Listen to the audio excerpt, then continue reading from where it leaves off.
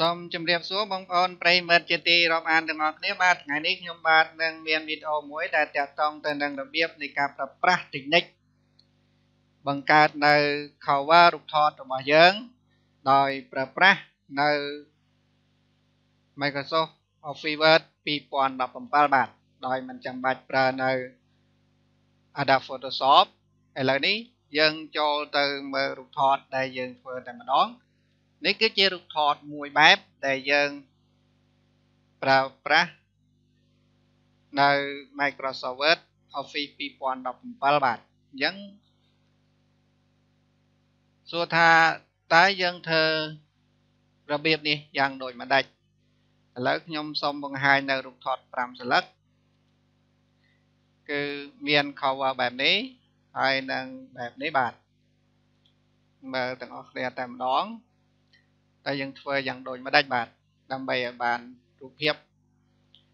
និង cover របស់រូបថតយើងហ្នឹងឲ្យមានលក្ខណៈល្អមើលទៅគួរឲ្យតាក់ទាញចំពោះអ្នកទស្សនាផងដែរបាទហើយយើងអាចយករូបថតរបស់យើងហ្នឹងទៅផុសនៅក្នុង Facebook, Line, Twitter ឬក៏ផ្ញើទៅឲ្យមិត្តភ័ក្តិរបស់យើងបានទស្សនាផងបាទពីព្រោះថា ការដែលយើងធ្វើរូបថតឬក៏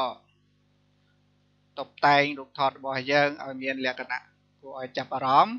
របស់មិត្តភ័ក្តិក៏ដូចជាបងប្អូនប្រិយមិត្តជាទីរាប់អានជាដើមបាទឥឡូវយើងចូលទៅធ្វើទាំងអស់គ្នាតែម្ដងដោយប្រើប្រាស់នៅ Microsoft Office Word 2017បាទ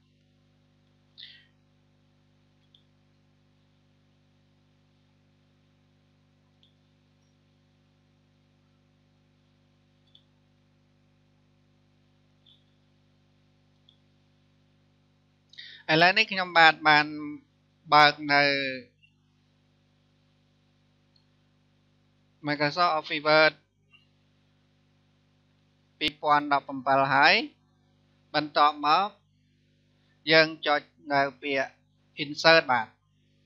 insert ដើម្បីចូលទៅយករូបភាពរបស់យើង បន្ទាប់មកទៀតយើងចុចត្រង់ picture ហើយទៅយករូបថតរបស់យើងដែលយើងបានទុកនៅក្នុង folder ណាមួយឧទាហរណ៍ថារបស់ខ្ញុំ បានទុកនៅក្នុង folder មួយនេះបាទយ៉ាងទេខ្ញុំ photo learn ឥឡូវនេះខ្ញុំមានរូបថត5សន្លឹក A1 A2 A3 A4 A5 ហើយយើងយករូបថតទាំងអស់ហ្នឹងបាទ select លើរូបថតទាំងអស់តែម្ដងបន្ទាប់មកគឺត្រង់ចំណុចនេះហើយដែលយើងត្រូវដាក់ background របស់វាបាទគឺ format នេះត្រង់ចំណុច format នេះអញ្ចឹងយើងយករូបថតយើង click នៅលើរូបថតរបស់យើង คลิกនៅលើរូបថតរបស់យើងបន្ទាប់មកយើងចូលជ្រើសរើស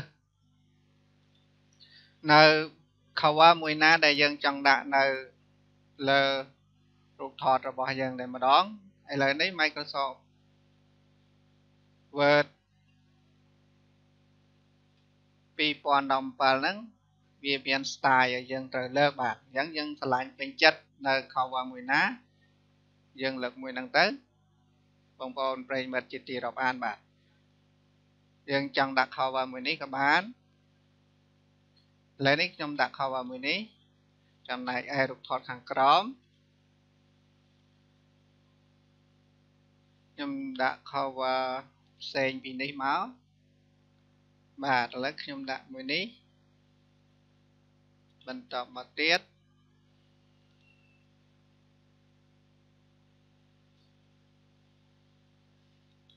បងប្អូនប្រិមិត្តជាទីរកអានពេញចិត្តនៅ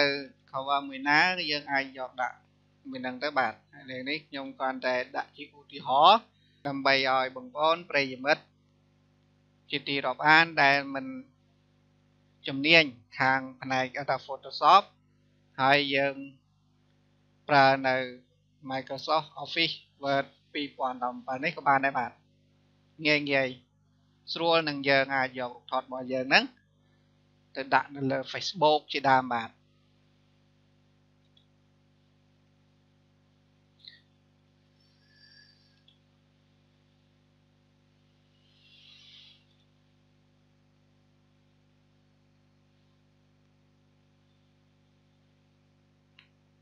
ចឹងទេខ្ញុំសង្ឃឹមថាបងប្អូនប្រិយមិត្តនឹងធ្វើតាម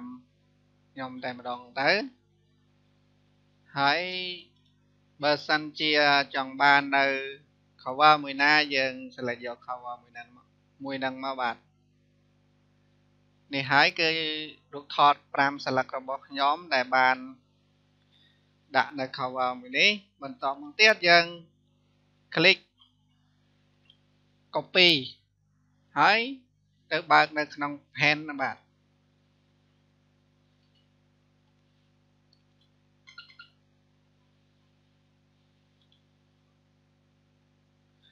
បន្តមកទៀតយើងក៏ save រូបថតរបស់យើង ដាក់នៅក្នុង folder មួយណាក៏បានដែរដូចខ្ញុំដាក់នៅក្នុង picture អញ្ចឹងខ្ញុំដាក់ B1 បាទ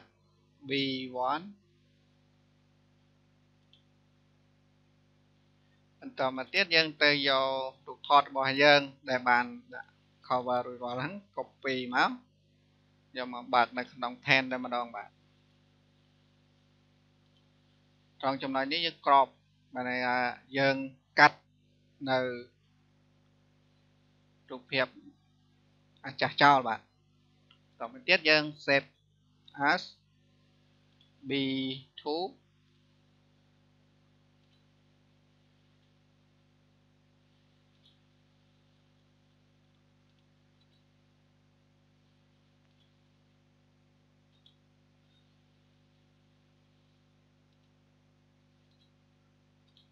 អញ្ចឹងបងប្អូនប្រិយមិត្តទាំងអស់គ្នាធ្វើតាមខ្ញុំបណ្ដាបណ្ដាមកហើយយើងយករូបថតរបស់យើងហ្នឹងទៅផុសនៅលើ Facebook របស់យើងបាទដើម្បីឲ្យបងប្អូនប្រិយមិត្តឬមិត្តភ័ក្តិយើងទាំងអស់គ្នាហ្នឹងបាន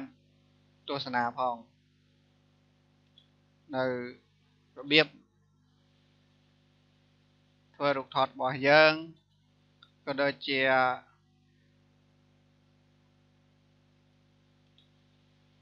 បងប្អូនអាចមើលហើយនឹង comment នៅរូបថតរបស់យើងតើធ្វើយ៉ាងដូចម្ដេចបានបានរូបថតបែបនេះអញ្ចឹងយើងងាយងាយស្រួលស្រួលមិនបាច់ទៅប្រើប្រាស់ដាក់ Photoshop យើងប្រើតែ Microsoft Word Office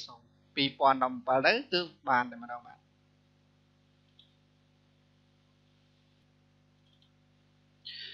ឥឡូវនេះរូបថតដែលយើងបានធ្វើមិញគឺបានរួចរាល់ហើយបងប្អូនប្រិយមិត្តជាទីរាប់អានអញ្ចឹងយើង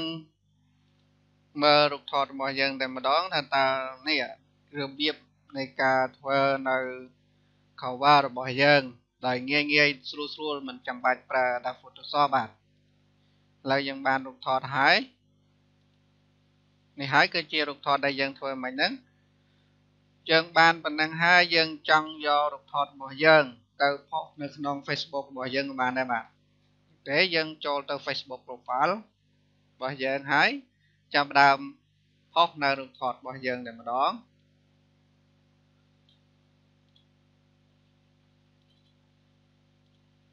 យើងដាក់ទាំងអស់តែម្ដងក៏បានបាទឥឡូវនេះខ្ញុំដាក់អស់តែម្ដង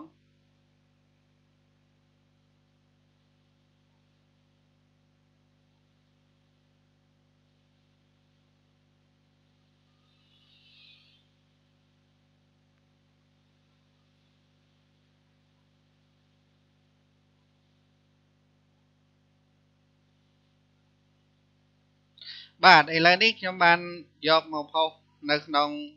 Facebook profile របស់ខ្ញុំបានរួចរាល់ហើយបាទអញ្ចឹងទេយើងចុចពាក្យផុសតែម្ដងឬក៏យើងអាចសេមក album រូបថតរបស់យើងនៅនេះ description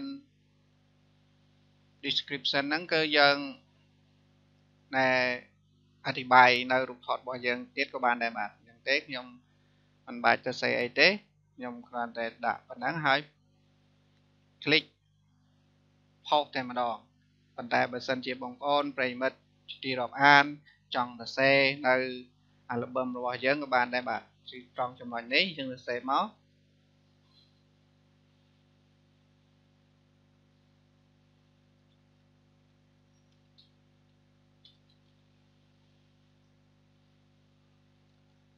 អ picture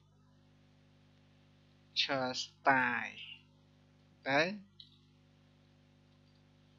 បាទឥឡូវនេះខ្ញុំដាក់ all picture style គឺ album របស់ខ្ញុំនឹងថតនៅក្នុង Facebook របស់ខ្ញុំបាទបាទអូខេអញ្ចឹងខ្ញុំចុចផុសតែម្ដងបាទឥ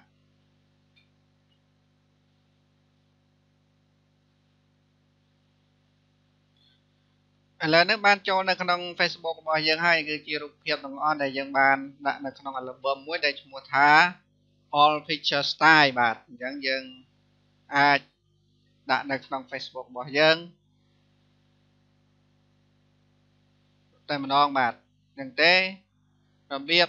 ឬក៏ technique នៃការប្រើប្រាស់ cover រូបថតរបស់យើងដោយប្រើនៅ Microsoft Office Word 2017ខ្ញុំសង្ឃឹមថាបងប្អូនប្រិមិត្តជាទីរាប់អាន ក៏ដូចជាមិត្តភ័ក្តិទាំងអស់ដែលចង់បាននៅរូបថតឬ cover ផ្លែកៗដោយមិនចាំបាច់ប្រើប្រាស់ Adobe Photoshop បាទអញ្ចឹងទេខ្ញុំសង្ឃឹមថាបងប្អូននឹងយល់ទាំងអស់គ្នានៅវីដេអូមួយនេះខ្ញុំបាទសូមអរគុណនិងសូមជម្រាបលា